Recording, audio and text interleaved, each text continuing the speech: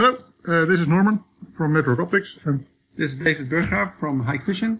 uh, today we are demonstrating the Hikvision thermal camera in combination with the fog generator to see the effect on cameras.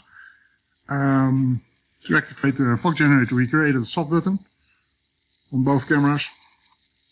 Um, simple rule setup. On soft trigger, two cameras, show a text overlay. Uh, two cameras are the cameras I just showed you.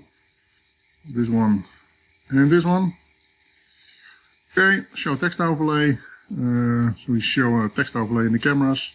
Fog generator activated uh, with the button, and you can choose your buttons. And if you want to have other buttons, please contact us. Maybe we can create them for you.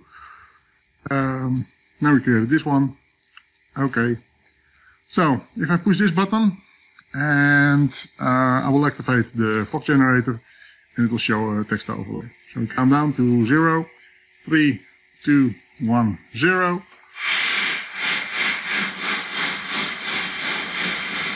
And there's the fog.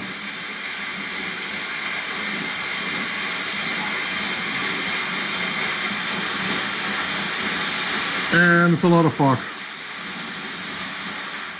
And we cannot see anything anymore.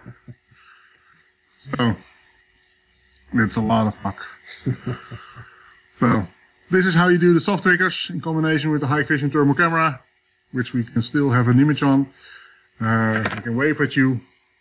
And we don't see a thing anymore, as you can see on the other cameras. It's completely uh, dark. Okay, thank you uh, for watching. Um, see you next time in a new video.